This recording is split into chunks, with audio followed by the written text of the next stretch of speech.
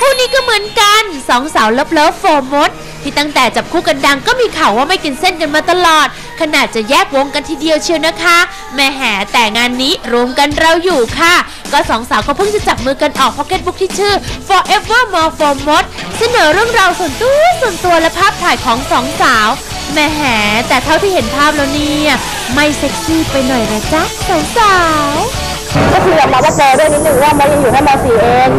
ถ้าเกิดจะให้มองเนี่ยมองน่ารักดีกว่าที่จะเซ็กซี่อะค่ะจุดขายของหนังสือเล่มนี้ไม่ได้อยู่ที่ความโปรค่ะ แต่อยู่ที่เนื้อหาของพวกเราที่พวกเราทุ่มเทใส่ลงไปในหนังสือเล่มนี้ค่ะแล้วเรื่องเราจะแยกเป็นศิลปินเดียวแล้วคะ